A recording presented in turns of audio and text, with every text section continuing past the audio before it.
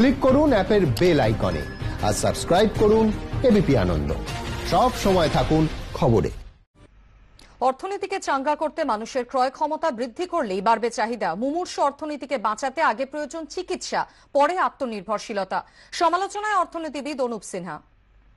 আত্মনির্ভর ভারত আমি উপমাটা দেব যে একজন মুমূর্ষু রুগী কথা একজন মুমূর্ষু রুগীর আগে ট্রিটমেন্ট দরকার হয় তার চিকিৎসাটা ঠিকঠাক হলে তারপর তার আরেকটা ধাপ থাকে স্বাস্থ্য উদ্ধারের, যে তাকে ফুল রিকাভারিতে আবার চলে আসতে হবে।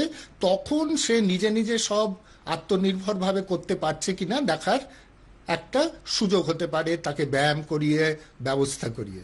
হ্যাঁ আমরা এখনও কিন্তু চিকিৎসাধীন রয়েছি যে একেবারে মুমূর্ষু প্রায় একটা অর্থনীতিকে কি করে বাঁচিয়ে রাখব, এইটা একটা বড় কথা। রোগটা হচ্ছে অনেক অনেক মানুষের, কোটি কোটি মানুষের হাতে আয় নেই, চাকরি নেই, রোজগার নেই, ক্রয় ক্ষমতা নেই।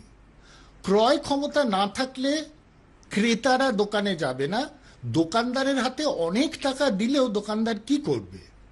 তাহলে আগে যেটা ইংরেজিতে বলা হয় হর্স বিফোর দ্য কার্ট হ্যাঁ do not put the cart before the horse আমার যেটা মনে হচ্ছে, আমাদের কেন্দ্রীয় সরকার সবসময় কিন্তু যোগানের দিকে বেশি ফোকাস করছে।